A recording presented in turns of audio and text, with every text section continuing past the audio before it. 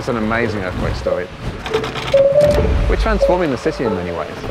I'm Simon Kingham. I'm a professor at the University of Canterbury and I cycle about nine and a half K across town every day to work. There's a mantra about cycleways that says build it and they will come. And that's been shown here in Christchurch.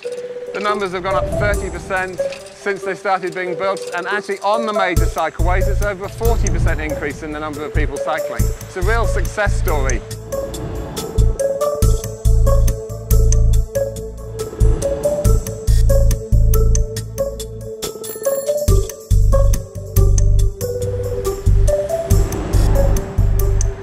We know is when you have few people cycling, the proportion of women is much lower.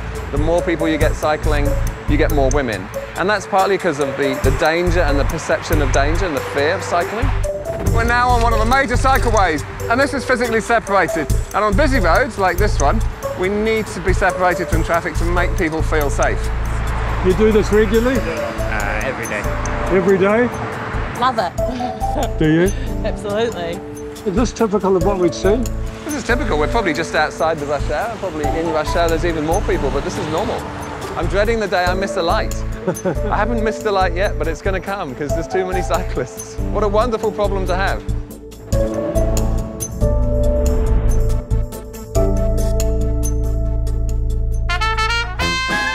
Christchurch has got a long history of cycling.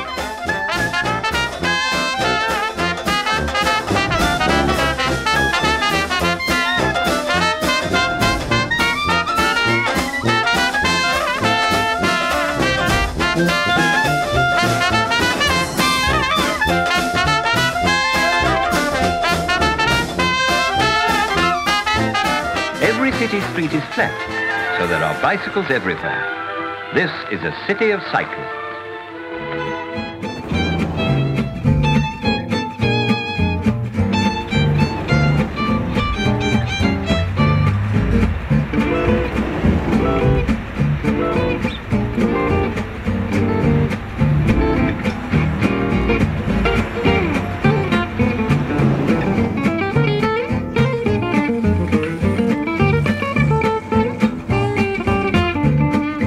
After the earthquakes, the council held a, a, public engagement called Share an Idea.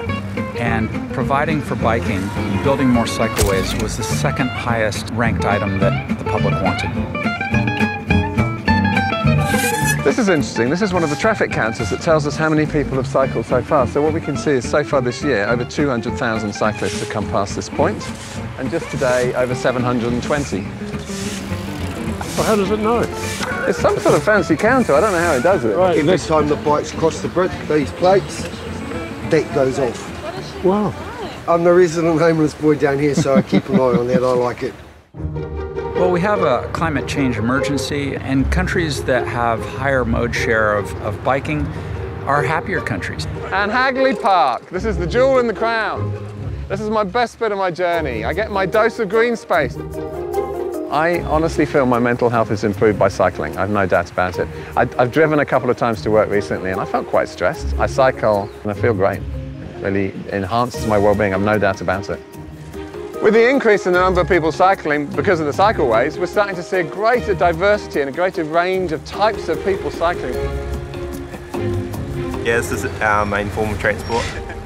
We ride the girls to preschool drop off every day and Matt picks up the groceries on it and we also go out to the swimming pool, library, cafes. My name is Michael Reynolds and I run Tohakai. We decided six months ago to move towards an electric bike delivery system to reduce our environmental impact. We can fit about 21 boxes in one load. The acceleration on this is pretty epic. I can get up to 20 k's an hour in less than a second. It's good. And that's on the lower setting. I haven't dared go up to setting five yet. I don't even know what that looks like.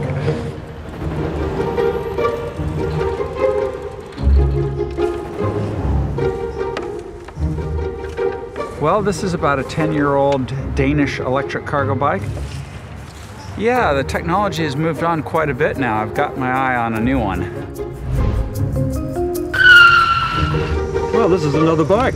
Yep, it's a Riese & Müller, which is one of the top brands of cargo bikes. And they run from uh, anywhere from 13,000 to 21,000. This is near the top model here with dual batteries. It's got the belt drive, full suspension, even uh, a rain cover for the dog.